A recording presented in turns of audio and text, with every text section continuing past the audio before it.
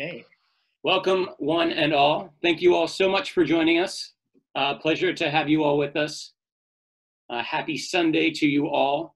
Uh, we are joined today uh, not only uh, by the one, uh, the only Sarah Thompson, of course, but also by some guests from La Montagna, Mount Etna, Mongibello, um, we have uh, Antonio uh, Benanti uh, and uh, Alice Bonaccorsi uh, joining us from Sicily. Uh, uh, and and so it's a, a, really very special, very special lesson. Um, and uh, we are really excited to share these wines with you. Um, and I'm excited to, um, you know, kind of give up the microphone and give them a chance to um, talk about this amazing landscape and um, these, you know, soulful wines that are really steeped in you know thousands of years worth of uh, history.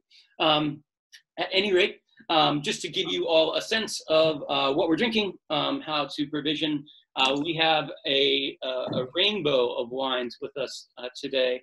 Um, Etna has many gifts, um, uh, white and red, uh, for the sake of fine wine to offer. Um, we were selling four through the restaurant, particularly for this lesson, although um, at any given time, uh, we have all sorts of wines uh, in the mix um, at both Tail Up Goat and, uh, you know, uh, we're going to at Reveler's Hour uh, because these are wines that we love and they are wines that deserve um, a, a much bigger audience um, and they, you know, are truly on par with any of, um, you know, the great growing regions in the world. You know, people talk about, you know, Barolo and Brunello um, in the context of, you know, the great Italian winemaking regions, but, you know, Mount Etna um, certainly um, belongs in that in that conversation. Um, so I have a white and a uh, Etna Rosato, which is a fascinating uh, wine, a bit of a peasant's wine, one of my favorite wines in the world. Um, here, um, uh, the white is from uh, Alice's vineyard. Um, the Rosato is from Massimiliano Calabretta. Uh, we have Antonio uh, Benanti's Etna, uh, Etna Rosso behind it. Um, and then Mario Paoluzi, um, his uh. Hopefully, he's able to uh, to join us uh, as well. Um, Thompson, if you see him in the mix, uh, uh, notify me. Uh, um, Mario is the only one that is operating on Sicilian time, which is pretty, pretty remarkable. Um, at any rate, we're thrilled to have you here. Um, so, without further ado, we're going to get to um, the matter at hand. So. Um, today we're celebrating uh, the power of wine to transport, uh, not only through the glass, but um, you know through the added element of, of travel and learning. So uh, we are joined from our studio in Adams Morgan, 1775 uh, Columbia uh, Road, Northwest Washington D.C., um, by uh, Alice Bonaccorsi in Mount Etna. Alice, do you want to say hi to everyone? Hi. Hi. Yeah, and uh, Antonio Benanti, Antonio Benanti with a map of Mount Etna behind him. Hello. Brilliant. And as always, uh, from less further afield, Sarah Thompson. Uh, brilliant. And, and we might have another guest uh, in the mix as well. Um, should be very exciting. Um, so we always start off with uh, a bit of uh, verse. Um, uh, I would be remiss if I didn't do a bit of shameless self promotion as always, uh, just a, a, teaser next week. If you're buying food from us at either restaurant, um, lamb ribs. That's all I'm going to say. Lamb ribs! Exclamation point! They're making a comeback. Um, we do have uh, additional uh, merchandise to show off. Uh, that is additional wine school merchandise. Um, uh, this is a, uh, a T-shirt. Oh no, um, this is not the screen that I was hoping that you would all see. There we go. It is the that is an excellent question t-shirt, uh, Tail Up Goat Wine School. Those are live uh, through our website uh, for you all to purchase for you uh, so desire. So uh, stock up uh, while you can. Uh, for the sake of verse, um, we're going to kick it old school. Um, and this is Virgil, the famous Roman poet. Um, and this is from the Aeneid, book three. I am not going to share screen on the text itself. I'm going to share screen on um, a, a, glimpse of uh, the mountain itself because uh, Mount Etna is an extremely beautiful place. Um, and uh, you kind of have to see it to fully, um, you know, appreciate its glory. So again, this is, uh, this is Virgil. Um, the port is large and sheltered from the winds, but Etna near, with frightful dissolution roars at times, sending up bursts of black clouds in the air, with rolling smoke of pitch and flashing spark, and globes of flame that lick the very stars. Then from the bow of the mountain torn, huge stones are hurled, and melted rocks heap up a roaring flood of fire. Tis said that here Enceladus, half blasted by the bolts of heaven, was thrust beneath the mountainous mass, and mighty Etna piled above sends forth his fiery breathing from the broken flues. And every time he turns his weary sides, all Sicily groans and trembles, and the sky is wreathed in smoke. That is Mount Etna, and you know, inasmuch as um, you know, is a beautiful place that makes beautiful wines, it has this kind of um, you know, psychological hold over the landscape, over the southern Mediterranean, over, um, you know, anywhere, you know, kind of, um, you know, in its shadow. Um, and uh, it is, you know, steeped in uh, poetry. You know, uh, poets have been celebrating Etna since antiquity through uh, the modern era. Uh, the name of the mountain itself comes from the Greek I burn. Um, in the uh, Sicilian dialect, they say Munchibedu. Um, in Arabic, they say Jabal al Nar, which is the mountain of fire. Um, and uh, it is formed uh, as part of a uh, subduction zone. So um, you basically have a collision of worlds, which feels fitting. So you have the uh, African tectonic plate um, sliding north and east into the Eurasian plate. And Etna um, sits at the um, kind of intersection of those continental plates. And uh, it's kind of funny, you know, I, I, feel like every time the subject of making wine on Etna, you know, comes up, people ask, you know, how, how could you live there? You know, how could you make wine there? And, um, you know, having been there, I, I, think, you know, and I'll let uh, Alice and Antonio speak to this themselves, but um, people see the blessings of living there. You know, uh, the mountain gives as much um, as it threatens. And then on top of that, in as much as there are regular eruptions and you know regular earthquakes as well, it's like riding the subway. You get used to it, you know. And and I think you know even with the little tremors, it's something that becomes a part of your life. And you know unless it's you know out of scale, unless it's a once a century eruption or earthquake, you know it becomes a part of your life, and, and people learn to um, adapt, which you know is worth celebrating in and of its own. Um, Mount Etna climbs well over 10,000 feet. Um, through the 19th century, actually, one of the biggest exports from Etna was ice. Uh, that sounds really weird to say, um, you know, to get ice from a volcano, but it is that tall. Um, and, you know, uh, in hmm. winter, you know, it, you know, will snow. There are ski resorts on the top of the mountain.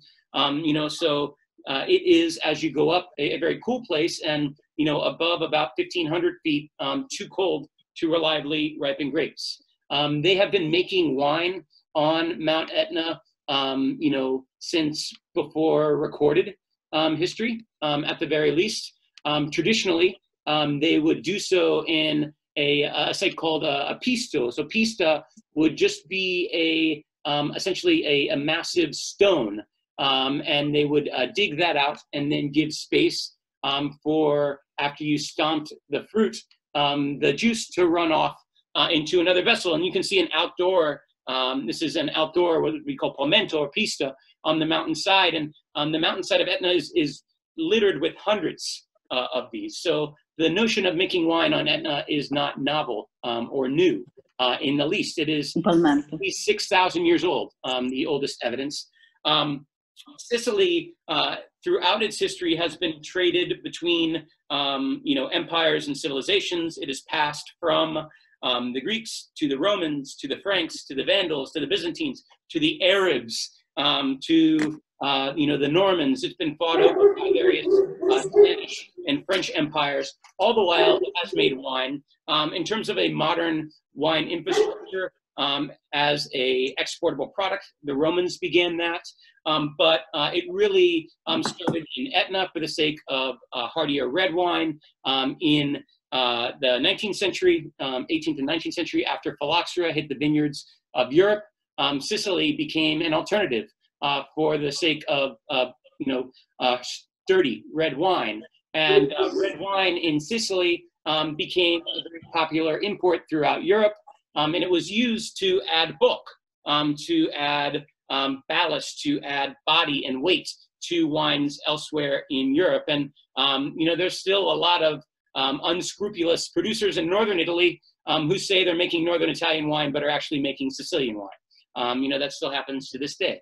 Um, Marsala, um, you know, throughout that time was the most, you know, kind of widely known uh, Sicilian wine. But I think, you know, locally the wines of Etna have really held sway over the local imagination and, and been, you know, um, you know, kind of the noble wines uh, of the island. And uh, Etna in the modern era was the first um, DOC. It was the uh, on uh, the island of Sicily. Um, it was the first protected uh, designation of origin established uh, in the 60s.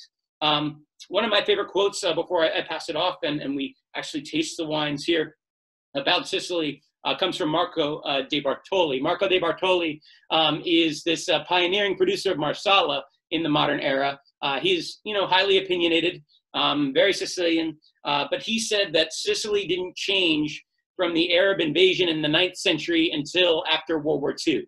Um, he doesn't mean that literally, um, but what he means is that, you know, Sicily, you know, is a culture that was very um, agrarian and locally rooted. Um, and uh, I think you know, in terms of the products that were they were making, people weren't, um, you know, concerned as much with, um, you know, innovating. Uh, but that changed uh, after World War II, and and that changed on Etna um, beginning in the 80s uh, and 90s for the sake of their wines as a younger generation, um, as embodied by Alice and Antonio and Antonio's father. you know, really started uh, to want to make wines that you know could um, be sold on the international market, and that didn't correspond to um, the traditional uh, image of wine on Etna, which tended to be, you know, more kind of oxidized wines uh, for local uh, consumption. So, um, without further ado, and um, Mario is on the call now. Oh, excellent, excellent. Uh, welcome, ciao, Mario. Um, uh, I'll have to bring him into the mix. Um, wonderful. Uh, so we have three of the best known and uh, finest winemakers um, uh, on uh, Etna today. Um, ciao, Mario. Is, ciao, eccomi qua. Ciao. Oh, Hi, everybody. Thank you. Uh, thank you so much for joining us. You joining? Oh, oh uh, my pleasure. No, excellent. And, and, and, Mario, so you're are you in your Palmento? Yes, I mean, oh. uh, yeah, I'm uh, in the my Palmento. Yeah. Okay, so great. So um, the Palmentos is Palmentos the word for the traditional uh, winemaking facility throughout Sicily. Um, and you can see, I had a picture of one lined up, but I don't need to use that picture anymore because um, uh, Mario got the memo and is showing it off uh, in real time. Thank you so much. So, uh, Mario. Yeah, this is this is not a working Palmento, but okay. we will do one in the next uh, couple of years. Oh, excellent, excellent. Um, so, uh, for the sake of uh, you know our guests and you, we're going to taste through the wines. We have four wines here, including um, your old vine, and uh, we're just going to let you all speak to these. Uh, uh, we don't have Massimiliano in the mix, um, so I'll talk about his Etna Rosato having visited, but um, I've, I've talked enough here, um, and I want to give it over to uh, Alice Bonaccorsi. She's going to talk about her Etna Bianco, which is based on the great Carricante. So, uh, Alice, for, for everyone's sake, um, how did your family get involved with oh. winemaking on Mount Etna? sorry, but I, I had ho fatto un pasticcio. Oh, no worries. That's okay. So I'll. No, no, I'll, I, I, I. Where are you, Alicia? We have technical. We have some technical difficulties. It's okay. Um, Alicia, One moment. No, no worries. You you work that out. I'll tell I'll tell the folks about um, you know uh, Etna white wines. So Etna white wines come from a bunch of native grapes, but the most important two are Carricante and Catarratto. So Carricante um, is a, a, native grape that comes from. One moment. Oh, no worries. One moment, because I, I don't see any, nothing. Um, Alice, io suggerirei di scollegarti e ricollegarti. I, I try again, try uh, again. Uh, very exciting. That is, uh, that is none the other than Robert Kennedy, uh, the importer of these wines, in the mix uh, on his fabulous uh, green headset. Um, that's going to be trending on the Wine School Instagram very shortly, Robert. Nicely done. So um, uh, while Alicia works out of technical difficulties, Carricante, the grape name, comes from uh, the Italian word carica, which means load, because it's a grape that can be very overproductive. Um, so if you work with it in the valley, it's a grape that you know can make a lot of wine, which is a good thing, you know, if you want to make wine at scale. But for the sake of making, you know, fine wine, typically is a bad thing. Um, Carricante is a grape that has very high acid, um, and you know, for me, oh, there we have you back, uh, Alice. Okay, Ah, perfect, perfect. Um, so I was, I was. I am here. Yeah, I'm here. Okay. Excellent. How about how about my wine? Okay, Yeah, sorry. So I was, I was talking about Carricante. Um, yes, yes. uh, I uh, I don't I don't see, but uh, I understand Oh, you what were you able to hear. Excellent. Um, I uh, want to say something um, about Mount Etna uh, because, as as you said, uh, Mount Etna is the highest um, active volcano in Europe.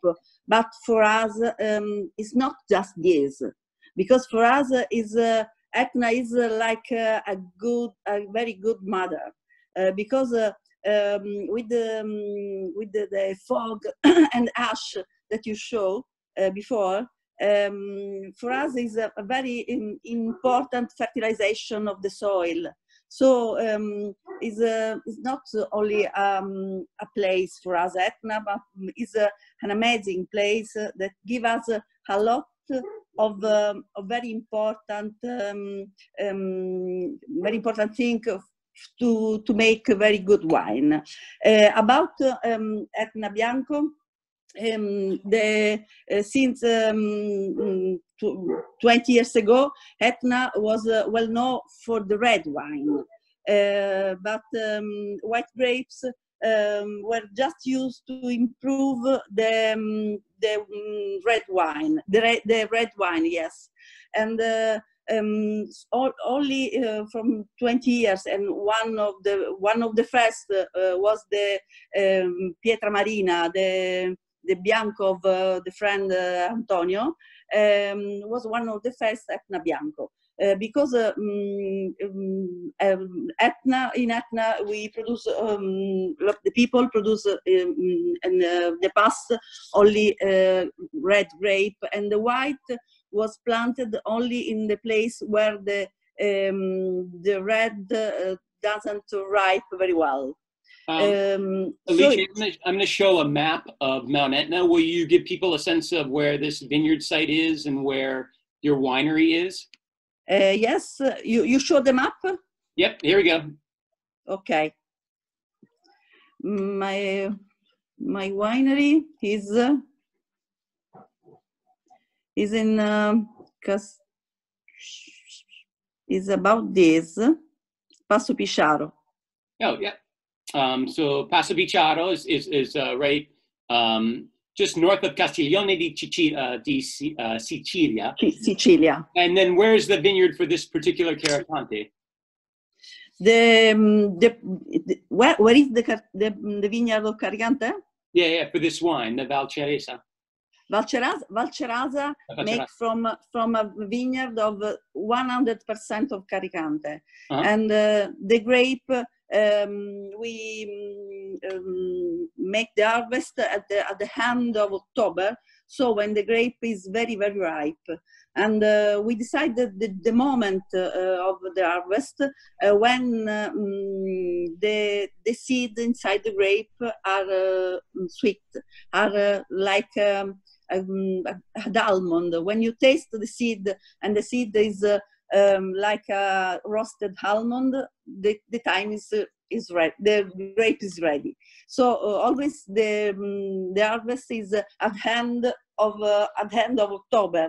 Uh, sometimes um, after the the red grape, and um, um, we produce this wine with um, particular mm, way because we crush the grape, we put the grape in the press, and uh, um, the, the grapes stay uh, in tanks at uh, 20 degree, so it's very low temperature. Um, then after the fermentation, we left the, the wine for two years sur lie and uh, we make batonnage every 15 days and uh, then every month. And for two years the wine stays sur lie And um, for uh, the vintage 2015, um, to 16 is the vintage uh, we have uh, this, uh, this evening. Um, we it was a very uh, interesting vintage uh, because it's um, it's good good rain, enough rain, and good temperature during the summer so the um, the, the, grape is uh, very um, is ripe is very good ripe. And uh, um, we mm, our uh, philosophy is uh, to uh, to put in the bottle the the vintage. Uh, not the best vintage but the vintage as we found. Because um, we our philosophy is to produce good good grape, good grape, and then in the in the winery we follow the grape. So we produce a different wine year. Uh, because we want to um, to produce the uh, wine that uh, um, that uh, uh, show the the vintage as uh, the vintage was um, not uh, we don't um, have any um, chemical product because uh, we have a, a very small uh, winery and we um, are used to produce um, in natural way so we have um, um, in the vineyard, we don't use any pesticide. We have um, certifi- certification of ICEA, and uh, uh, in the winery, uh, we don't use any chemical product, but we um, we follow the grape and we use um, we use only physical. We don't use chemical, but we we have to use physical. So we use uh, temperature and uh, oxygen in the vinification. Oh, uh, so, well, so Alicia, what do you look for when you're tasting this wine? What do you you know, hmm. like mm. about, you know, this particular expression of Carricante? When, when? What, when? What do you, what do you, uh, what do you like about this uh, particular expression of, Okay, um, I when I taste the, the, the, this vintage, I understand that the um, Carricante is a very um, interesting grape because they have a very high acidity. Uh, when uh, um, the the first time that my consultant came in uh, in the winery, um, about around uh, um, 15 years ago, uh, she um, tried um, the Carricante juice, and uh, he um, said this exact word. She said. what we making lemonade. because because uh, um, the carricante, the juice of carricante is very very uh, um, a very high acidity. Uh, so uh, when uh, you taste during the fermentation, um, it's very strong. It's very not. Um, it's um, very high acidity, and you don't understand what you can do in the in the future. Uh, but the, this acidity is the, the most part of this acidity is malic acid. So uh, after the malolactic fermentation, the wine uh, became very, very complex and very uh, round. when I taste this wine and I feel the, um, the um, smell of white flower, um, like sambuco or uh, the flower. Um, I said always that I, I I um, feel the, the, the smell of uh, uh, Nespolo flower, but I don't know in English uh, how you say Nespolo. Antonio, can you help me? It probably doesn't exist in English. Nespolo. You know? No, I think it's just Nespolo. Yeah, we just have to let it exist in in. Let me look it up online. Yeah, yeah, yeah. Okay, thank you. I, I always get. Uh, I find often there's a, like an almond blossom, kind of like an almond. Uh, there can be kind of an almond quality uh, to these wines as well. The almond, the almond. Yeah, yeah. You you feel the almond uh, yeah, taste? Oh. No, the the nespolo is uh, because uh, nespolo is a plant is a plant that make flower in November.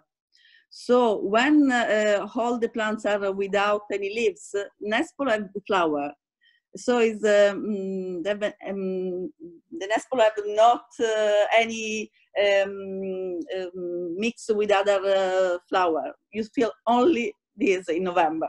So, uh, guys, apparently it's called medlar. M E D Medlar, medlar, yes, medlar. L A R. I like it. I like it better in Italian. I think it sounds better in Italian. uh, and Alice, what do you what do you like to eat? What kind of things do you like to eat with uh, the Etna Bianco? Um, I like um, um, hit um, uh, a, a lot of things because um, because um, uh, the good acidity is uh, is good for uh, um, for cheese. Uh, but you can uh, eat also uh, some kind of pasta um, veg with vegetables or uh, some um, different kind of um, of um, meat, but not very fat meat. Uh, but if you hit some um, some uh, kind of meat, uh, um, no, no, not pork, but uh, some um, like uh, um, chicken or something uh, kind of meat. Is this is this the flour or is this a different flour? Wow. no, this is this is a wildflower. Wildflower. But that's not the Nespolo. It's different. No, no, no, no, It's no. Japanese No, no, flower. Nespolo. Nespolo is a, a, a, a orange uh, fruit. Okay. Is uh, is orange fruit, very very juicy. Um, and I will- I will show you next time. Nespolo. Okay, understood. that was a beautiful picture of one of your vineyards. So at any rate. Okay. Yeah, thank you so much, Alicia. So I'm going to move on to the uh, Etna Rosato now, and uh, we don't have. Um, this is uh, wine from uh, Massimiliano Calabretta, um, and I will uh, show off Massimiliano. He is um, uh, a total character, but um, before we do that, um, I think you know I want to introduce uh, the red grapes of, of Etna, the noble red grapes. So we talked about Carricante. Um, Catarratto is is the most widely grown grape um, in Sicily. Um, and Catarratto goes into uh, Marsala historically, um, uh, and it, it can make you know kind of fun wines, but um, you know Carricante has much more ageability uh, certainly. Um, on the red side, uh, the most important red grape is uh, Nerello Mascalese, um, and Nerello refers to the color. Um, Mascalese comes from uh, Mascali, which is a, a corner of, of Sicily. Um, they have discovered uh, that uh, Nerello Mascalese is actually the uh, offspring of, of two grapes, one of which most of you will know, uh, Sangiovese, uh, is one of the parents of Nerello Mascalese. The other parent is uh, Mantonico Bianco. Mantonico Bianco is, is from um, Calabria, um, across uh, the, the Strait of Messina. Um, so it's actually thought that the grape might have originated in Calabria and then come over uh, to Mount Etna, but it is indisputably the Etna um, uh, red grape. Um, I think it is significant, though, to understand that it hasn't been made in the style that most of us are familiar with um, until relatively re- recently. So, um, you know, you look at the facility um, that uh, is lurking uh, behind uh, Mario there, and they would not have been making, you know, typically a, a red wine like this. They would have been making a wine that looked more like this. Uh, this is a traditional um, uh, peasant wine on Etna, and the style is called pisto y muta, um, and that means press and separate, and that's because, um, you know, you're living in a world without refrigeration. Fermentation happens in a place like Sicily very fast. Um, and if you leave a wine on the skins for the two weeks required to make something, you know, as red as either of these wines, you are inviting vinegar. Um, so um, in this case, um, they would have given the wine 24 to 48 hours on the skins and then run it off and made something with this color. And uh, they would also call it on Etna, or I'm, I'm, I'm, i understand in, in Sicily, they would say like wine, red wine to go with fish. Um, and it's this beautiful chameleon kind of wine, and I, I really adore that um, about it. Um, so uh, Massimiliano uh, Calabretta comes from um, a, a winemaking family. Um, he made wine with his father Massimo. Um, this is Massimiliano. Um, he is a professor of engineering in addition to a winemaker, so he spends part of his year in the north um, wearing a and tie, and then he spends part of his year on Etna um, making very soulful wines. And he and his father started uh, bottling their wines in 1997. Prior to that, they did what most Sicilian producers did, which is just invite people out to the winery, you know, fill your jug, and you know, go on. People drive out from Catania, you know, they want wine, they get wine, and they go home. uh, but they wanted to do something, you know, more noble, more sophisticated. And, uh, and they have been making wine largely from old vines and consolidating their holdings um, ever since. Um, uh, I visited Massimiliano. His winery is insane. Um, it is outside of Randazzo in two adjoining um, uh, kind of garages, and it's a bit of a labyrinth. And uh, I can remember visiting him that, you know, he has all of these rickety ladders climbing from one tank to the next, and you know, he invited me up, and my wife wanted nothing to do with it, and passed me a glass, and um, you know, he knows where everything is, you know, because that's kind of the way his mind works. No one knows knows where where anything is in the winery, um, but he makes these really beautiful, soulful uh, kinds of wines, and it was the first time that I've had a wine like this. And and what I love about this style is that it's impossible to pigeonhole. It's impossible to easily typify. You know, it's not what we most what most of us think of as as rosé or rosato. It, it's not rosso either. You know, it's something else entirely, and it has this real historical, um, you know, kind of imprint in Etna and this historical importance in in Etna. It's not the only you know kind of rosé that people are making on Etna. You have people like Alberto Graci that are now making rosés that are more in the Provençal kind of style. But you know, I think this is this is one of the most special wines that Etna has um, because it is based in history um, and it is, you know, so wonderful. And it's wine that ages um, really beautifully um, as well and, and, can go with anything. So I, I, you know, invite you all who've never had it before to, you know, hit us up on the on the comments. Um, you know, uh, and you know, it, it is a chameleon and it is an alien wine in the best possible sense. Um, and the last thing I wanted to introduce uh, because it will figure heavily in our conversation for the sake of um, the gentleman we're about to talk to is uh, this notion of the way that vines are traditionally trained on Etna. So uh, typically, Nerello Mascalese is trained in this form called albarello, which means little tree. Um, and albarello, traditionally, there would be a chestnut pole driven into the earth, and the vines would be encouraged to train vertically. But there would be no wires, there would be no espalier. Um, you know, these are vines that are placed very close together. Um, they're not trained in rows, although very often they would plow and they start to look like old olive trees as they grow and they're poetic and beautiful and you know that's something that um, you know mario celebrates on his labels you can you know see um, on the label um, these older vines that you know have this like beautiful you know kind of you know personality uh, one uh, to the next and you know i can remember you know traveling vineyards with um, you know mario's vineyard manager in particular and, and you know in these older vineyards he had his favorite vine. So he's very excited to show off his one one vine in particular that he had named that was you know his you know personal favorite. And and they they do have you know this amazing personality and and you know kind of life uh, all their all their own. Um, at any rate without further ado um, let us move on to uh, Etna and uh, that leaves us of course with the the one um, the only uh, Antonio Benanti. Antonio your family um, figured hugely in the modern revival of wine on Etna. Uh, will you tell us a little bit about the estate? Bill, sorry, I missed the last word you said because I oh, was just. Just uh, tell us about your family and, oh, and okay. their, their history on Etna because you you know you are very unique in having made wine there for a long time. Your father was a seminal figure in the 1980s and 90s revival of wine on Etna, yeah. um, and then you and your brother now are are pushing everything forward still. Sure. Um, sure. Well, and thanks, Bill, for giving this nice stage and visibility to Etna. Uh, thank you on behalf of all of us. It's always we're always proud to see our wines um, being appreciated uh, so far away from home. So uh, thank you for that. You, I think you're right. Uh, thank you for crediting my father Giuseppe for what he has done. Um, when we started to make wine professionally, it was 1988, which is 32 years ago. Um, like like Massimiliano Calabretta's family, my family was also growing vines like like many others, even in the 1800s.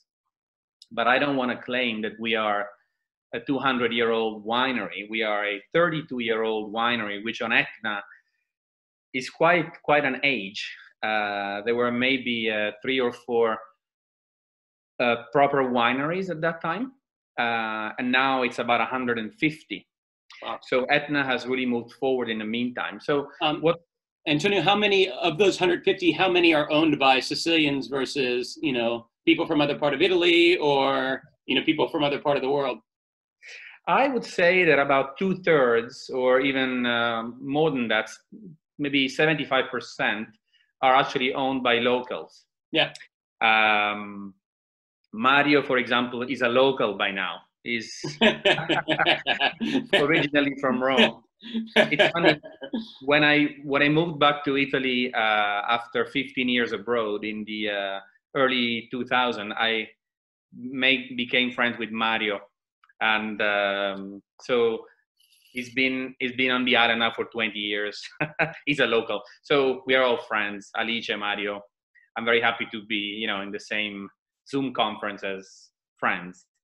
Uh, going back to uh, what my father did, yes, my father is actually a um, pharmacist, but he has always collected wine and he has traveled for wine um, to taste wines and to wine regions. And when he was 43, um, because his father had basically stopped uh, really look, looking after vineyards because he had started another business, my father decided to uh, basically uh, take it a step forward and his idea was to uh, really set a very high standard on Etna at a time when these varieties were not so well known.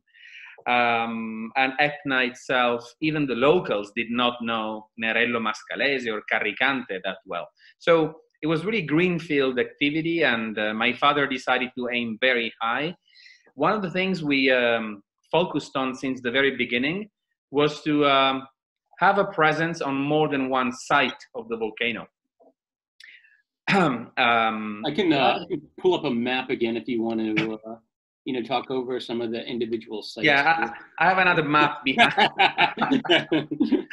so uh, we believe, we believe, yeah. So uh, we started in the north of Etna in an area called Rovitello, and then immediately this was 1988, and then uh, our first wine is called Rovitello. It comes from Castiglione di Sicilia on the northern slope. But in the very same year, uh, we also released a wine from Milo, which is on the eastern slope facing the sea. And in the uh, early nine, in the mid 1990s, uh, we started to release wines from the southwest of Etna in an area called Santa Maria di Licodia. And then 20 years ago, 1998, uh, we were able to reunite uh, the actual family site in Viagrande on the southeast. So um, we actually started uh, with two wines, an Etna Bianco Superiore and an Etna Rosso. Um, now we make uh, 15 wines, one five, um, a few Bianco, uh, then one Rosato or Rosé, um, some Contrada specific reds, and some vineyard specific reds as well. Robert Kennedy carries basically all of them. Um, and so in 2012, my twin brothers Salvino and myself, we took over uh, the total management of the winery. And we have basically leveraged what my father had done for many years, yes, now the photographer wanted us to look like Nerello Mascalese.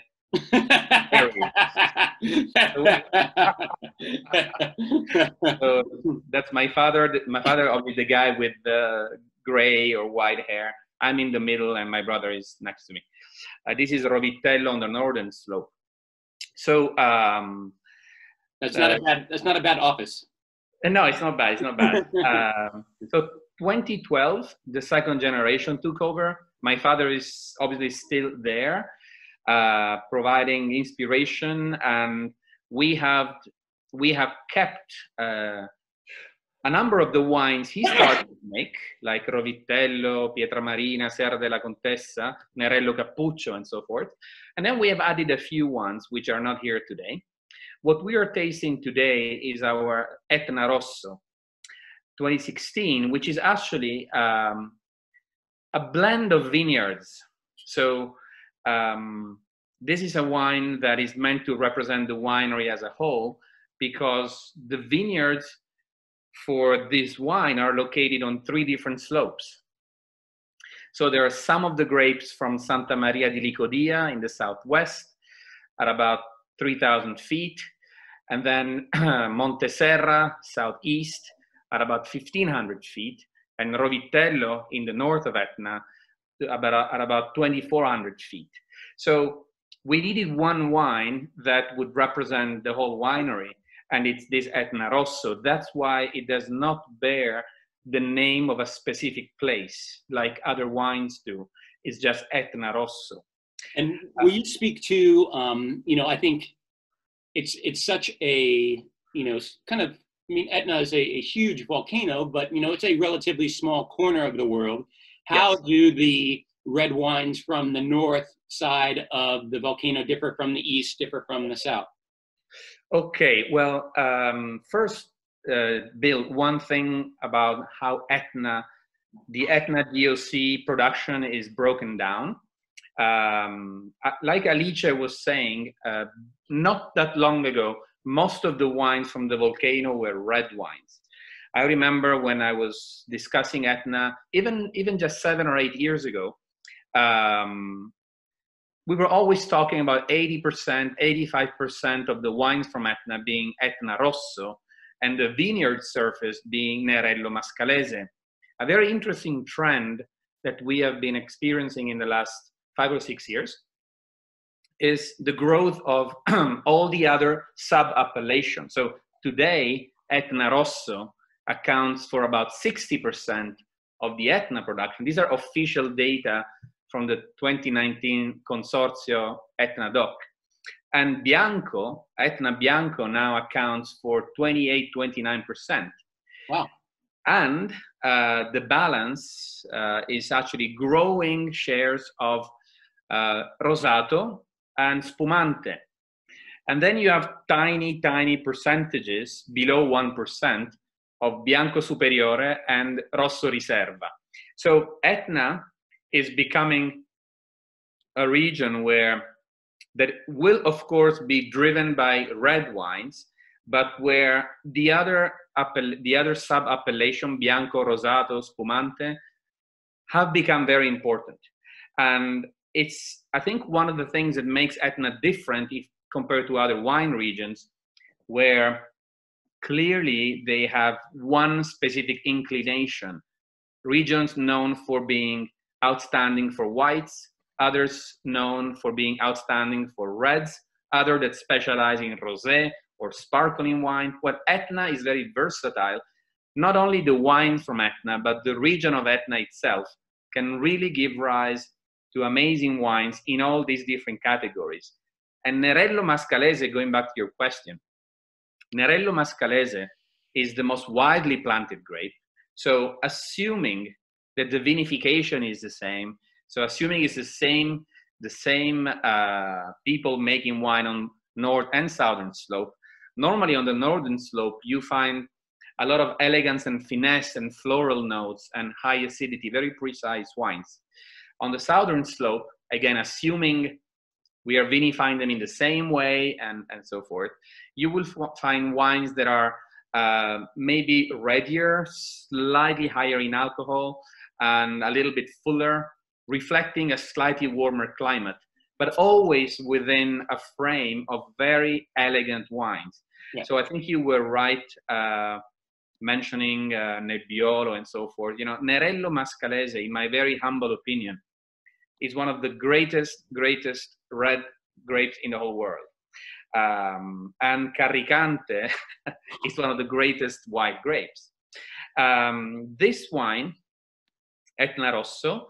You, before we uh, went online, uh, we were discussing it informally. You're right. This is one of the wines that we have changed a bit since we took over. When my father started in 1988, this was fully oaked.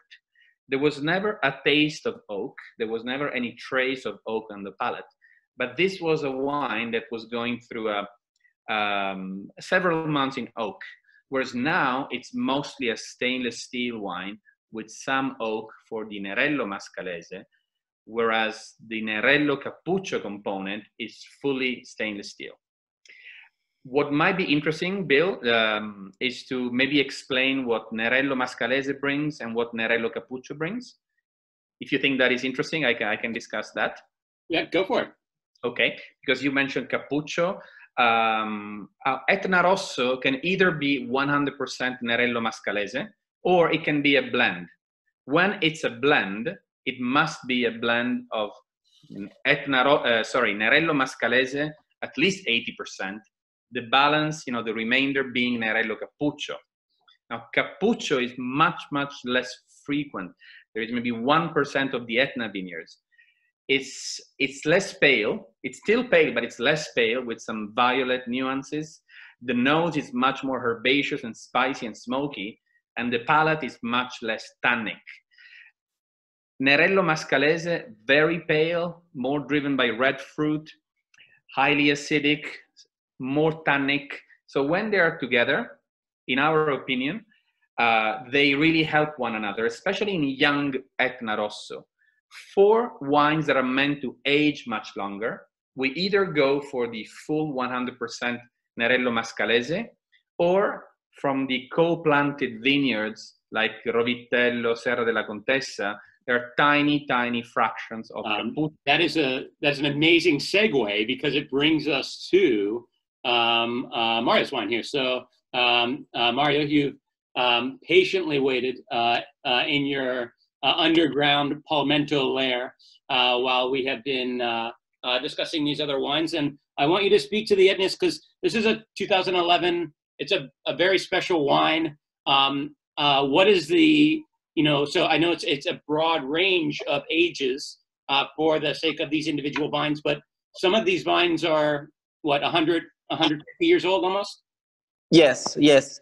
Some of the wines uh, here. I am now in the vineyard uh, of the of the Aetneus because I am here in uh, in Moganazzi where there is uh, mo- mo- most of our vineyards are here, but specifically the very first vineyard where uh, uh, I started in 2007 uh, uh, um, in Custodi. it was specific this vineyard, which is almost two hectares, about 100 years old. that that means um, in the in an Alberello vineyard that not all the wines are uh, 100 years old but that means that uh, like the oldest ones are 100 years old uh, and then an alberello vineyards, a uh, bush wine vineyard, you never replace it in once. You just replace a single vine if it dies. So, so we have a lot of very old vines, uh, up to 100 years, and then we have like uh, a little bit younger and younger and younger, and then and then we have like uh, the, the, wines we, we replaced in the last uh, in the last 10 years. So each vineyard is a kind of uh, is a kind of village. It's a village of of people of uh, in this case the specific the Aetneus uh, it's uh, it's uh, it's it's it's uh, it's specific uh, only Nerello Mascalese and Nerello Cappuccio. So it's it's only two families not more. Yeah, yeah. but but sometimes in the very very old in the very very old vineyards you have also some very few wines of other varieties that were planted in the uh, in the 19th century, so over 150 to 100 years old years years ago. And um, are these uh, vines grafted? Are they ungrafted? What's the percentage? The oldest one, uh, the oldest one uh, are, are ungrafted. Yeah. Uh, the newest one, uh, we replace it. we replace grafted uh, because um, uh, because when when the when, when the soil uh, it's it's it's it's strict. so when you replace a vineyard, uh, it be a certain percentage of. yeah, because because the soil is too is too tight.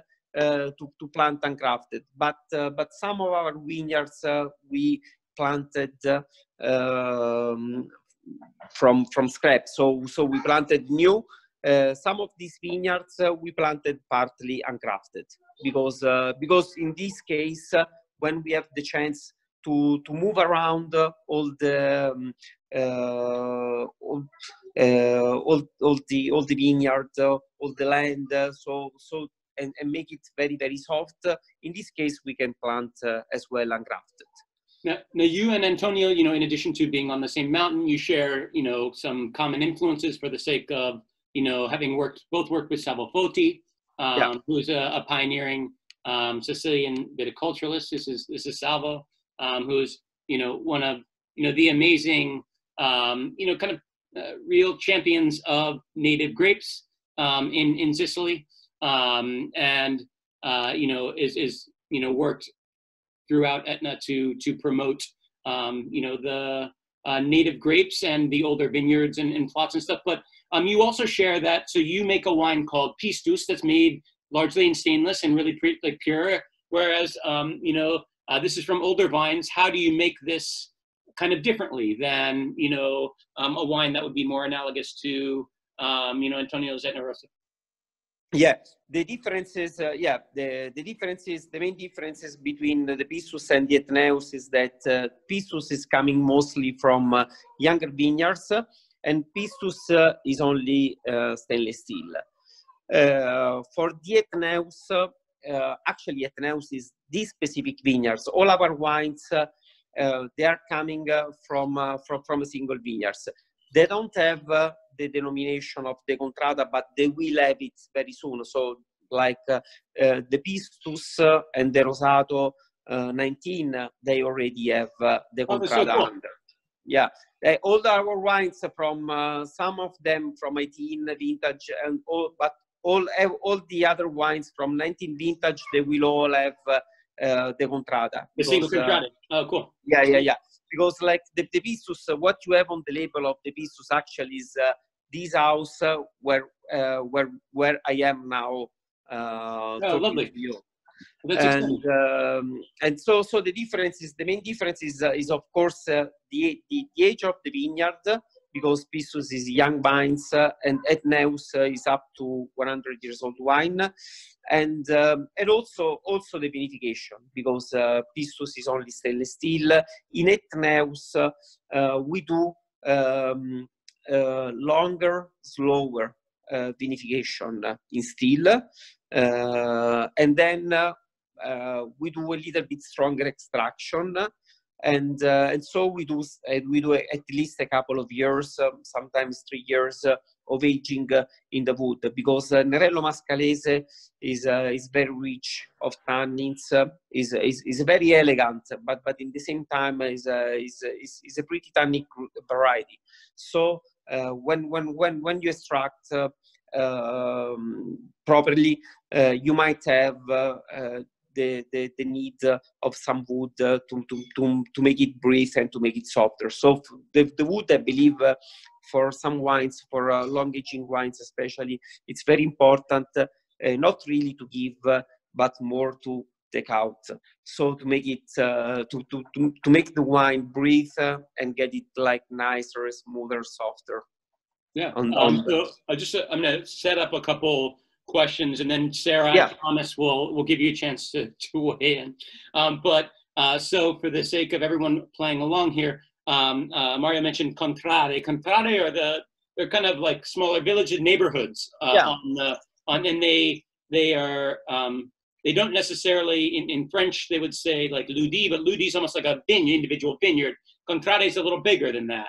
Um, it's a little know, bigger, yeah. Yeah, yeah. yeah. It's, it's, a little it's bigger. A, it's it's a dominazione. It's yeah, a, yeah, yeah. And what's what's really fun about Etna, as you can imagine, so Mount Etna is a very ancient in in human terms, ancient winemaking yeah. culture. In geologic terms, it's a baby.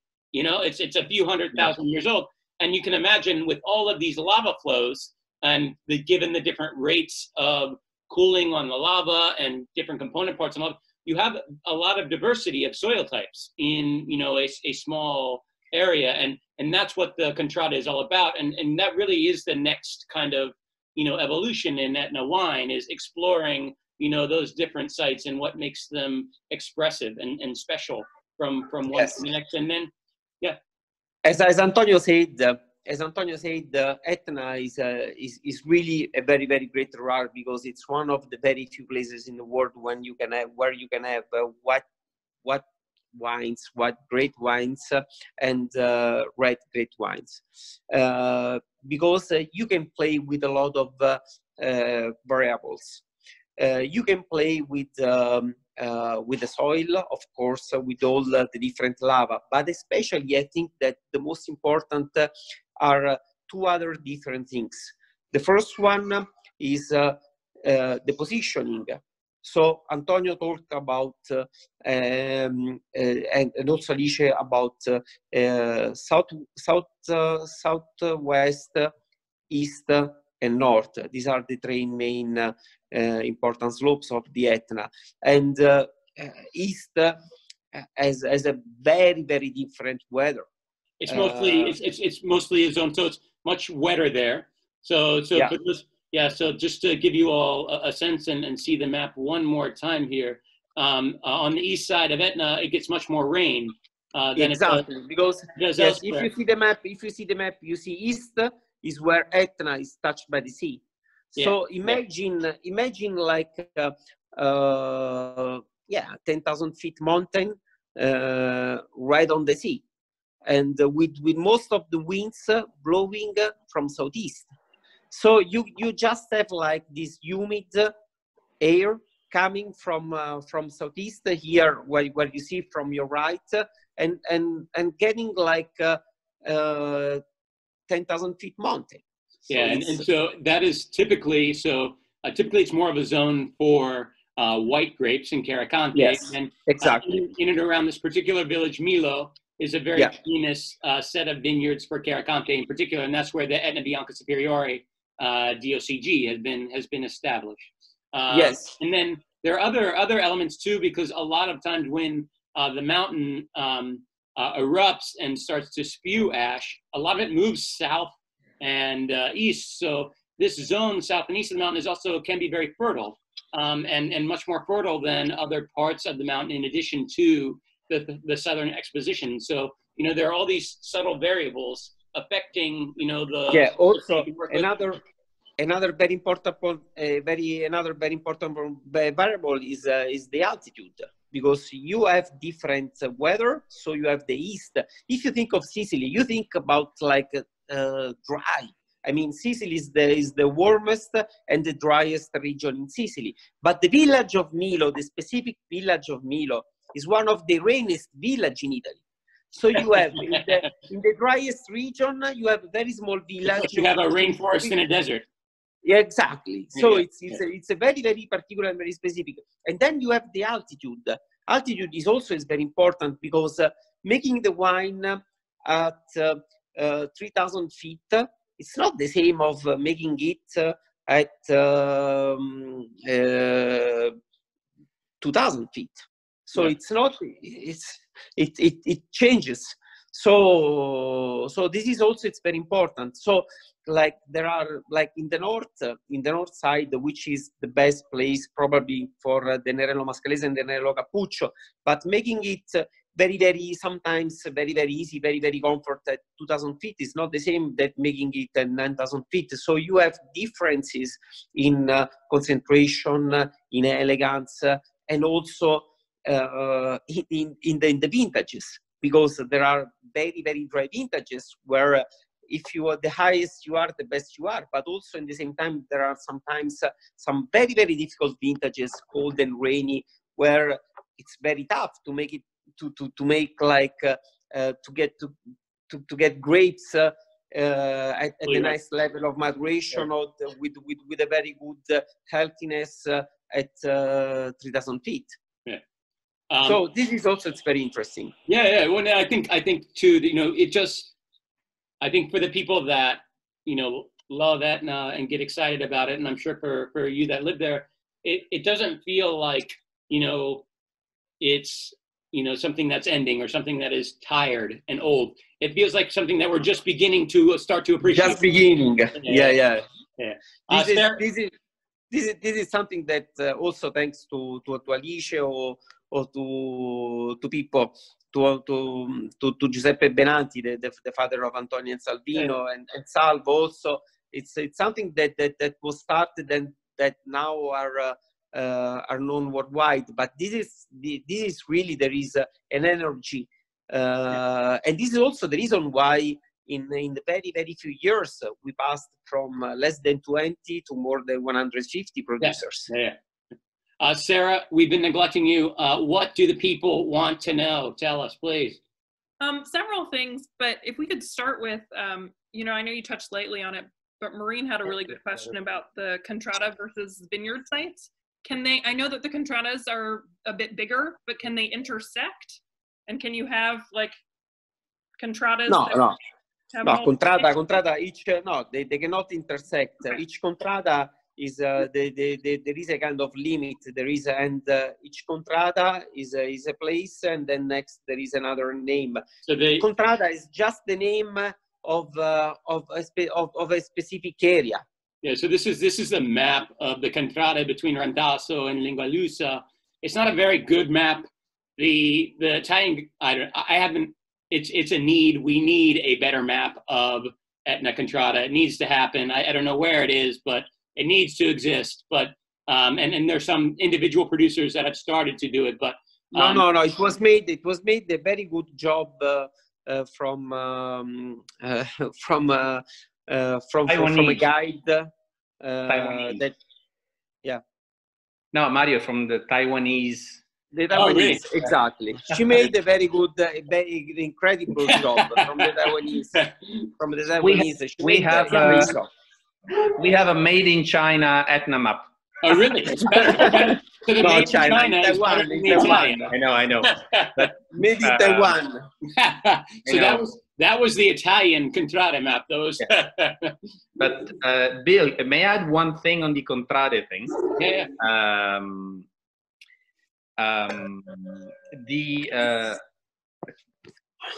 contrade is a terminology that already existed before the Etna wine uh, boomed and became known. So basically, we have we are using a pre-existing grid or like a way of segmenting regions. And like you said, our job now is to really be able to go much more in depth and define every single contrada. There are 133 contrade, but we are adding more because some of them are already within the Etna DOC area but are not listed. And then the next step is to ideally, we, we all want to get to a stage where wines from a specific contrada will reflect exactly that that those that unique mix of elevation soil type ventilation light intensity and so forth so we are we are working on mapping etna better and we are working on defining every contrada better but like mario said they will never overlap they, they are adjacent to one another but they don't overlap I think I think it is important for consumers to understand that it's it's you know the contrada they're bigger than individual vineyard sites. So that you could Yeah. have it's like nesting dolls. You could have an individual. So like Feudo di Mezzo has Feudo di Mezzo like Porcaria.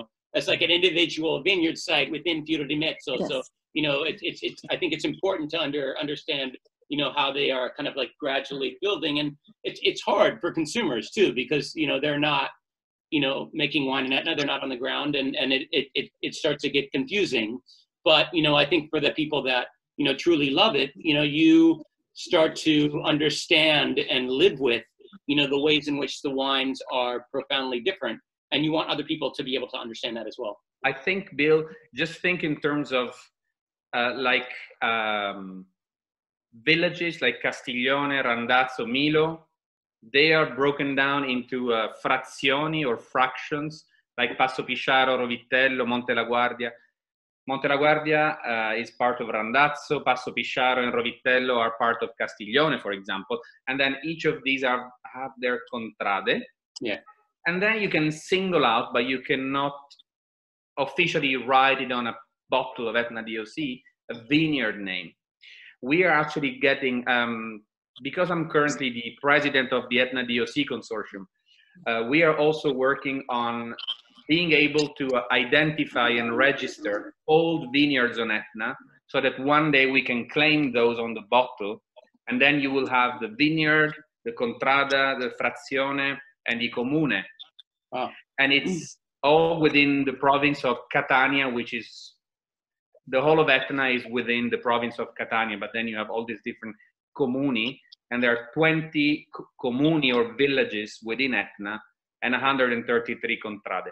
And it's getting more and more elaborate. And like Mario said, it's so complex. I cannot think of another region with so many variables. I don't- I don't envy your job as president. I only have one more year left. So I'm, No, I'm we don't know. We don't know. Maybe more. Maybe more. I don't, I'm Mario amazed is have next. more gray hairs on your head. Uh, Uh, Sarah, for, the, for example, in uh, Croci Monaci, there is uh, only my vineyard. This is single vineyard and the, the single contrada. In um, I have a, a contrada only for me. it's like a monopole. Esatto. Monopolio, monopolio. well, No, I but think like, something- feto, il Feudo di Mezzo, il Feudo di Mezzo, or the old name was Porcaria, but now Feudo di Mezzo. Feudo di Mezzo, there are a lot of producers that are making their wine in uh, in, in Feudo di Mezzo as well. We have our own uh, vineyard, uh, a very old one uh, in Feudo di Mezzo. So it's uh, it's it's it's very different. Uh, this is uh, and and I think that it's it's it's a very it's a big work that the consortium have to do, but I'm sure that it I think that it is very important that they will do it because uh, it's important they have. I mean, it's something must, must be done. I think it's, it's amazing too. You know, for me, I, I, so I think being from, so I am from, you know, kind of the suburbs of Washington D.C. and kind of like being from, you know, somewhere, but it's also, it's also like being from everywhere. There's not a, you know, strong local tradition. And in Sicily, there's this hyper locality. So on Etna, you have individual styles of wine, but throughout the island, you have a village that's famous for its lentils. There's a DOC for carrots. You know, you have Yeah. cherry tomatoes, and you know, you know that are that are like the most famous cherry tomatoes. And so it's just like that hyper locality is really magical, and I think you know um, for people that aren't used to it, it's really special and, and worth worth celebrating. Uh, Sarah, what else do you have for us? Well, that kind of brings me into another question that people have, which is the comparison of the, the grape varietals that are kind of more prominent on Mount Etna um, to varietals on other parts of Sicily, like Nero d'Avola, and just talking about the differences of those varietals. Presidente. Okay. Um, okay. Um, I I think what um, I would like to say on behalf also of Alice and Mario, ne- let's never forget that Etna, Etna only accounts for 2,500 acres. So it's 1,000 hectares, which is less than, it's about 1.5% of the entire Sicilian vineyard surface. So what is um, you know the mainstream or the main Sicilian varieties are not common and are har- they hardly exist on Etna. I think maybe in terms of say Nero d'Avola, for example, is the most important Sicilian variety. So we could we could think of Nero d'Avola as a more uh, like fuller bodied and more alcoholic and more structured type of wine. But again, you can grow Nero d'Avola in Feudo Montoni, close to Agrigento in Palermo, at a very high elevation of 2,000 feet, and it will be very different from a Nero d'Avola grown in Noto. So, but anyway, uh, disregarding where it could be planted, I would say that Nerello Mascalese is always the elegant and the highly acidic and crisp, age-worthy, Age. uh, red fruit driven, smoky and earthy variety. And then Frappato might have some similarities in terms of taste with Nerello Cappuccio, darker in color, very juicy, less tannic, maybe better drunk young. Nero d'Avola, fuller bodied, um, very often higher in alcohol and very age worthy uh, very often with those tertiary notes that come out quite early. So, in a nutshell, Etna is really the elegant side of Sicily because of the higher elevation, the volcanic soil, and the indigenous varieties. I, I think also something that people don't totally understand is Um, so, you know, we're talking about one grape varietal, but in a American context, you know, you talk about one grape varietal, you're talking about genetically identical grapes. You're talking about people propagating grapes that are bought from a nursery and genetically identical. That is not the case on Etna.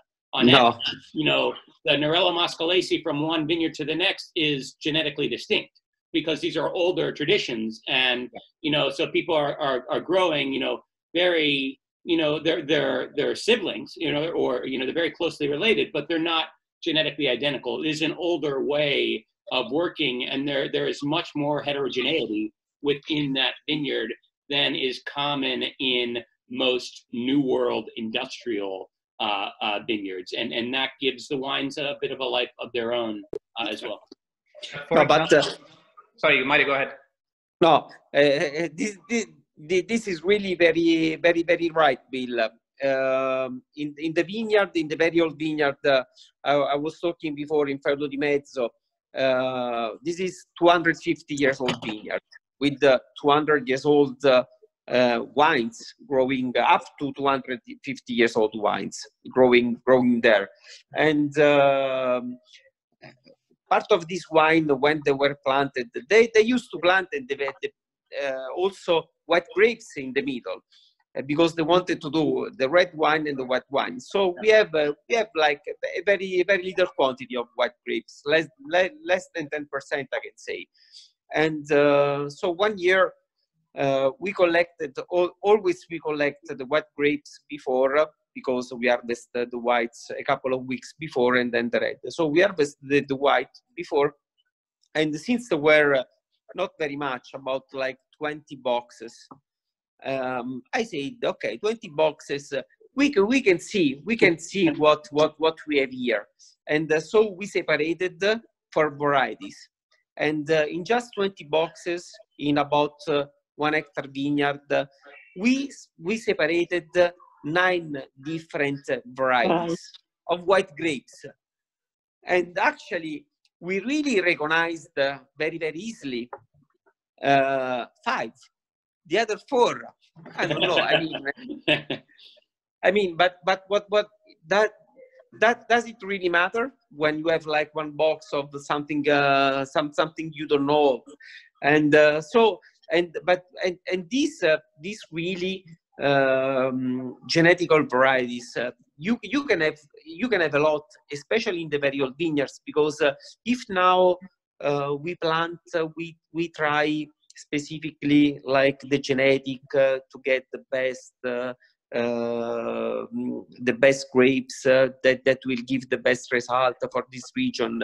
This is exactly the opposite thought that uh, they were doing in the past because 200 years ago they just they just wanted to plant it as much different they have available because their target was to collect something and uh, since there are some varieties uh, more uh, sensible to disease than other so they the more the, the, the, the most different they planted in the past uh, the, the the the more they were like sure to to collect something because there was less the risk that a single disease would affect all the vineyard so maybe like a disease would arrive that year and it affect uh, some part of the vineyard but Or- some or other ripeness. varieties that will be more resistant it's like to have like uh, um, a financial uh, portfolio the most uh, the, the, the, the most different uh, and and then you you, you like you uh, arise the risk of uh, of of problems It's like you don't want to have all your eggs in one basket. Would be the uh, exactly exactly Um, so uh, I'm gonna I'm gonna just uh, we I'm sure we have some more questions. I I, I want to thank um, if you're if you're willing to hang on, uh, we would love to have you, Antonio. I know you have um, Jack Ryan to get to at some point, but but uh, I'm sure we have more questions. I just want to thank everyone for for joining us, and we so for for all of you participating from Etna, we we typically give a toast um, uh, alone together, but also you know in, in Sicilian fashion, cent'anni as well. So thank you so much. thank you very much eh? Thank you. Thank you. Ho finito io il vino. Non ne hai più? No, devo alzarmi. Uh, if you Do you guys have wanna- more? If you Io guys ce n'avevo want- due, io c'avevo pure il rosato. Ti do, ti do il mio. Uh, Sarah, what else do you have for us? Um, well, as always, um, people want to know how climate change has affected all of the vineyards. right? Ah,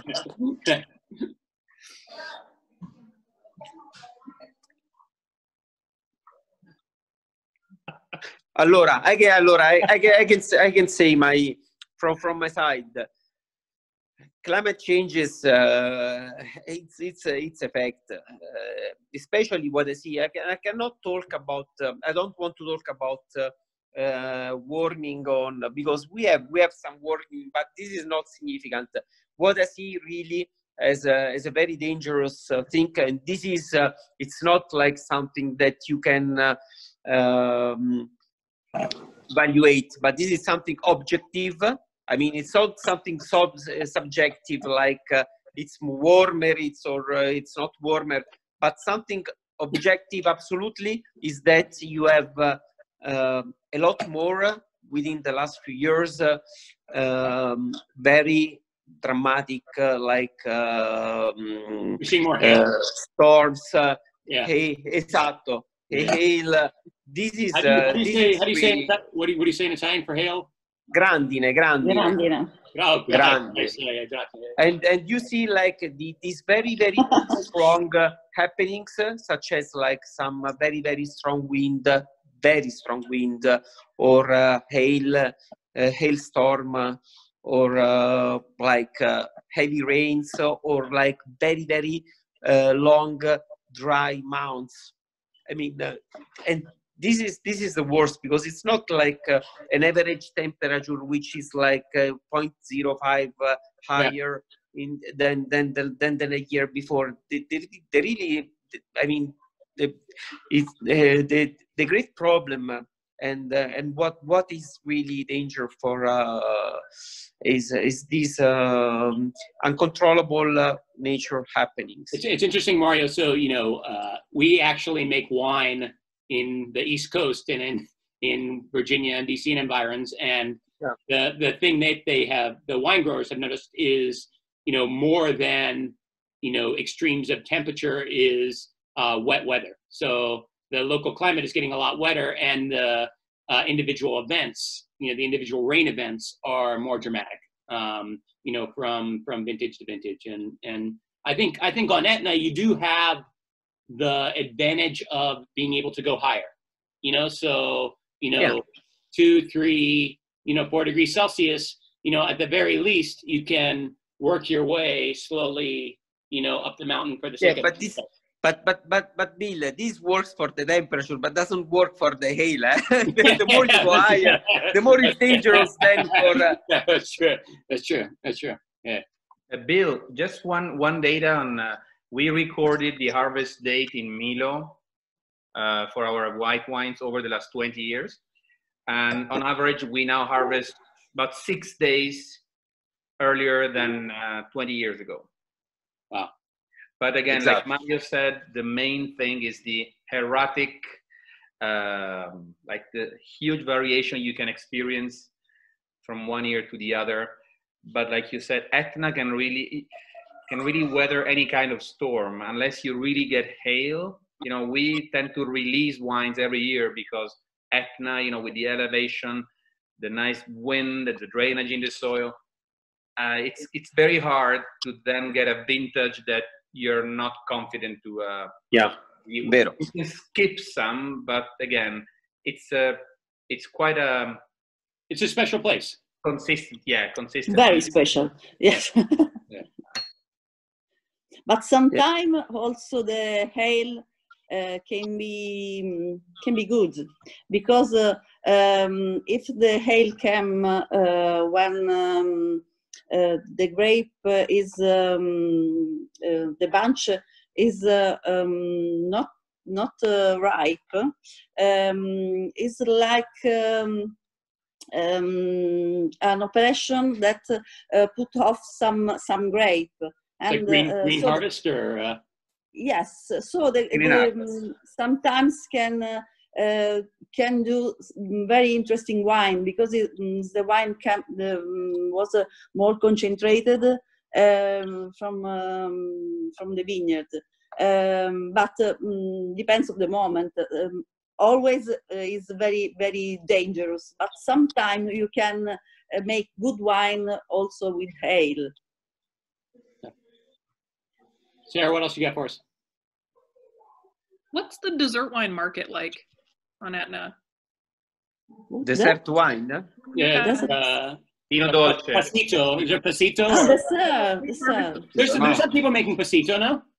There are maybe I Two think, uh, or one. Destro. I know, no, I know two. No, also also Chilio, also Chilio. Chilio. yeah, maybe three. Chile. Three. Uh, the there is no such thing as a Etna DOC Passito, or and anyway, I think it's really really uh, neglectable. Etna does not have the indigenous variety that is aromatic. I feel like Carricante could could do it. Uh, w- Carricante is, is, is not too much on Etna to make Yeah. passito. Uh, yeah. but also but also we it, it wouldn't don't remem- don't forget they are late uh, late ripening varieties so by the time we harvest our carricante yeah, it's already too late. it's not warm enough to then do any Right. drying. Yeah, yeah. It would have to be artificial uh, i personally see as this is just me speaking sweet wine like dessert wines as not really a thing that etna should get into But but I think what you can do is sparkling wine that I think people haven't fully appreciated yet. yeah, actually, the, Yeah. the share of Etna Spumante is growing and growing.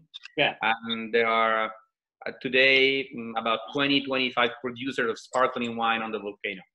Well, and, and I think I think like Nerello in particular makes really interesting sparkling wine.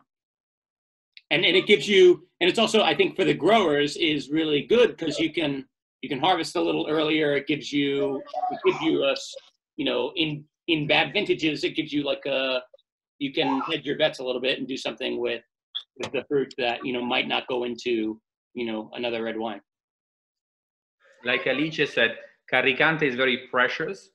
And so we, we use it. I mean, we do make a little bit of uh, sparkling wine, Benanti, but we're also releasing a Nerello Mascalese sparkling wine.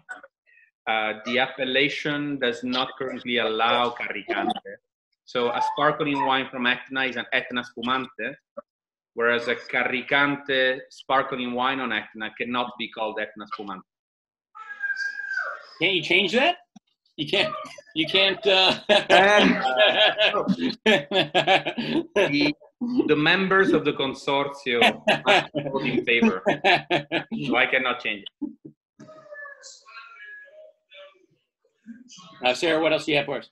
Um, the, you know, the one last burning question is kind of some of the wines that you you put on the website, which is you know Frank Cornelissen. Oh yeah, yeah. So we haven't so exact. So um, I, I will say I'll, I'll preface this with, I think that um, you know, so I, I am I'm not Sicilian, I'm not Italian, and, and uh, I think a lot of you know credit and attention has gone to other people that look like me. You know, I mean, like so Frank is Frank makes interesting wines. You know, um, uh, Anna Martens makes interesting wines, etc. Like, but um, you know, I, I think it is you know important to be giving credit to you know Sicilians with roots on on the mountains.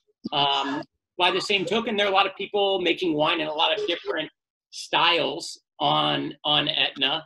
Um, you know, how do you all feel about that? You know, do you want to drink Frank's wines? Do you want to drink you know Vino di Anna wines? Do you you know accept that they are expressive of the place that is your home, or do they feel foreign? No, we we drink all the wines. Yeah. Um, uh, there are uh, funky wines uh, made by locals and by non-locals. There are uh, cleaner wines made by locals and non-locals. Wine, I think, is a very personal thing. As long as it reflects where it's made and it's true to Yeah. the place, we we would enjoy it. I maybe I, I would not go for the very extreme ones, but those that are a little bit funky but not super extreme, I'm happy to drink them. And I think you know they are very real wines like ours, and uh, there's definitely room for them, even though it's still quite small on Etna. Um, I, I would say. I think I think too that uh, Etna is still emerging, you know, on on the global marketplace, and I think there's something really special about that. I think that you know everyone, you know, wherever they are, whatever they're doing, is still very invested in the success of the the place, and there's not quite as much tribalism as there can be in other regions that are more well established, where you know there's this you know establishment that's oppressive to you know rebel against. I, I don't like having been to Etna. I didn't I didn't feel that way. It just felt like you know everybody wanted to drink together and celebrate what makes Etna such a magical place. Yeah, I, I think I think this too. I think that uh, on Etna there is a very very I, I, told you before a very good energy, a very strong energy, but also uh, I think I I feel also a very nice mood between all the producers uh, and uh, and like each each of us has his own uh, style, his own his own vision, his own way of uh, growing wines or making the wine in the cellar but uh, but by the way the, the, the most important is that uh, everyone is is is is, uh, is doing their own best uh, in terms of quality. And uh, and like uh, as antonio said there are like more funky wines so more natural wines um, more um, fine wines uh, uh, but but important is, is is is more is to work at the best and and also i think that the contribution that also these wines uh, gave to etna in, in terms of uh, knowledge worldwide uh, it was important i mean yeah. and uh, and this was all the work that everyone did in, in in the in the last years to know to to know the brand Etna, to know the name Etna uh, all over was uh, was was anything good. And also, it's it's very nice that uh, that that even uh, if we have some different styles of the wine, uh, still uh, the personal relationship are very very nice and very strong. Bill, I, I just wanted to I just wanted to chime in here for a second from a um, importer standpoint, just to say one thing. Um, I think you're 100% correct. I've noticed uh, in my dealings with uh, different winemakers on Etna, they all love everyone else's success, and you can tell that in how they self promote themselves.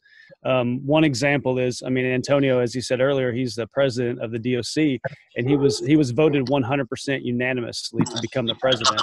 I highly doubt you find that in any other wine growing region, especially so in Italy yeah there's definitely unity. If you look at even like um, like um, cooperatives and whatnot usually your cooperatives in northern italy and alto adige work, work very well and also in sicily. So it's kind of odd that in between they don't but yeah that's just kind of my five that. cents. you would never see that in tuscany. No. Uh, bill you know what? I think what we might be worried about uh, maybe is the other end the other extreme uh, maybe some wineries growing too much or too much land too much land being exploited where you know even less optimal parcels. Yeah. currently the largest uh, the largest producer of on etna makes about 25000 cases. Wow. Uh, so that's that's small. And so we of course we are much more in favor of the um, like you said the more extreme or funky kind of uh, let's say um, new trend than maybe seeing kind of industrial etna being produced which we are definitely against. Uh, and uh, we don't have the volumes on etna for, for etna to become an industrial uh, winery. where it's very artisanal but we yeah. will always support like you said the locals and you know everyone that is true to the territory. And i think too i, I think you know for as much as you know those you know kind of funkier styles of wine have gained traction a lot of that becomes about marketing as well. There's nothing unnatural about what any of you are doing.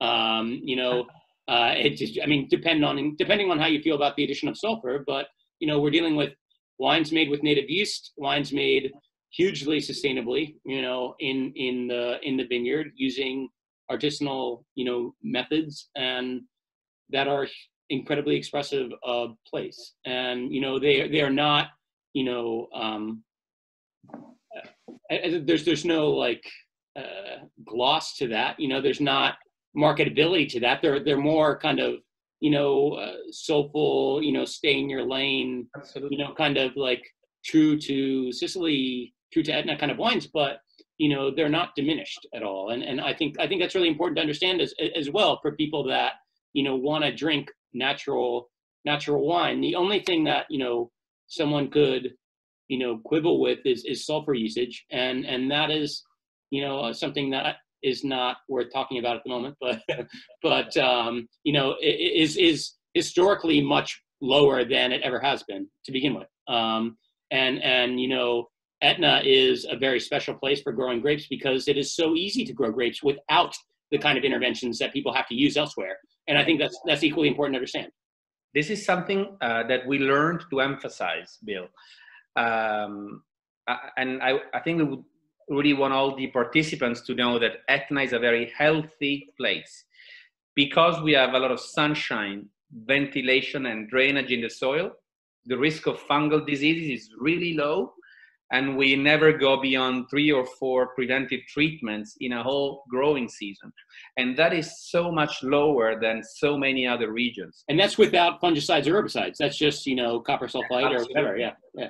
Absolutely. So it's, it's, a, it's a special place. And you could, and what's crazy about that too is that you could have a producer that's biodynamic and sprays copper sulfite like, you know, two dozen times during a given growing season. And, you know, that's, that's fine and they'll get all the press in the world for being biodynamic. But uh, I don't know. It's it's just there. It's it's very it becomes very arbitrary in a way that I think is important to um, acknowledge. And and you know, again, having I will say having been to Etna, I just want people to understand that a you should go there when circumstances allow because it is just it is magical. It is magical. Like I I remember. So I stayed on um, uh, the agriturismo that. Uh, uh, um, Alberto Graci's cousins on Statella, uh, uh, right outside Randazzo.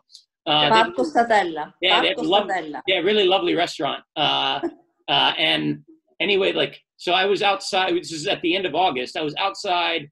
I was reading uh, the the Leopard, uh, and um, the I had to put I had to go back into our hotel to put on a sweatshirt because it was cold at night, and it's just you know it is it's so and the the quality of light is just different. Like I don't know what you guys do. I don't know if you invited photographers to consult or but the, the light, just the light is just like totally unlike any other place I've ever been. And there there's magic there. You know, I mean and and and my wife and I we loved Sicily. We loved everywhere we went in Sicily. Um and you know I've been other parts of Italy and but but Etna in particular just it it has this magic um, yeah. So at the hand, we are um, not a good producer, but we are lucky to stay on Etna. I think I think we should I think we should leave it at that. Uh, yeah, yeah. So so thank you. Thank you all so much. Yeah. So, yeah. So special. Thank you. Thank you.